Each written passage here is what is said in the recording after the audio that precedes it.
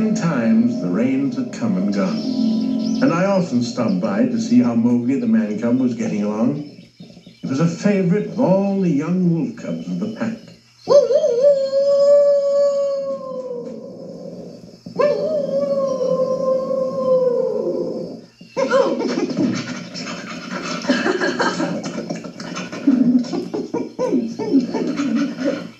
No man cub was ever happier. And yet, I knew that someday he would have to go back to his own kind.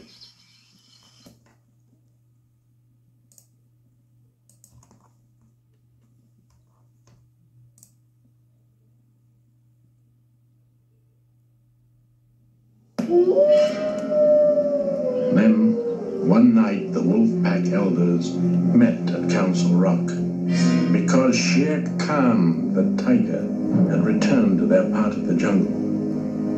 This meeting was to change the man cub's entire future.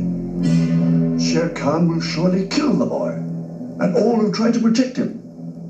Now, are we all in agreement as to what must be done? Now it is my unpleasant duty to tell the boy's father. Brother, uh, come over here, please. Yes, Akela? The council has reached its decision. The man cub can no longer stay with the pack. He must leave at once. Leave? I'm sorry, Rama. There is no other way. But, but the man cub is, well, he's like my own son. Surely he's entitled to the protection of the pack. But Rama, even the strength of the pack is no match for the tiger. But the boy cannot survive alone in the jungle. Akela, perhaps I can be of help. You, Bagheera? How? I know of a man village where he'll be safe.